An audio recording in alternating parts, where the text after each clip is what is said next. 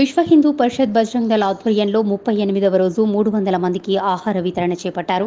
ఈ సందర్భంగా పేదలు నిరాశ్రయులు వలస కూలీలు ఆహారం లేకుండా ఇబ్బంది పడకూడదనే ఉద్దేశంతో గత ముప్పై ఎనిమిది రోజులుగా అన్నదానం కార్యక్రమాన్ని నిర్వహిస్తున్నామని పేదవాడికి పట్టెడన్నం పెట్టడమే లక్ష్యంగా సేవా కార్యక్రమాలు చేస్తున్నామని సేవా భారతి ఆర్ఎస్ఎస్ విశ్వ హిందూ పరిషత్ బజరంగ్ దళ్ భారతీయ జనతా పార్టీ కార్యకర్తలు అన్నారు.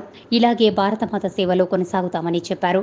కార్యక్రమంలో రాగి నరసింహులు బండారి వినయ్ నరసింహులు నరసింహులు పుట్టి మల్లేశం శంకర్ గౌడ్ నాగరాజు పోచమ్మ గణేష్ శరత్ పోచయ్య భార్గవాచారి దిలీప్ గౌడ్ అభిషేక్ తదితరులు పాల్గొన్నారు. విశ్వ హిందూ పరిషత్ బజరంగాల ఆధ్వర్యంలో గత ముప్పై ఎనిమిది రోజుల నుండి నేటితో ముప్పై ఎనిమిది రోజుల నుండి అన్నదాన కార్యక్రమాన్ని చేపడుతున్నాము.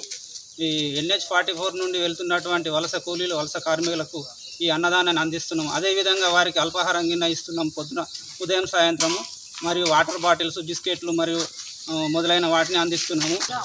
లాక్డౌన్ సందర్భంగా విశ్వ హిందూ పరిషత్ బజరంగ్ దళ్ కార్యకర్తలు ఇళ్ళకు వెళ్ళి విశ్వ హిందూ పరిషత్ బజరంగ్ దళ్ కార్యకర్తలు వారికి ఆహారం అంది అందించడం జరుగుతుంది.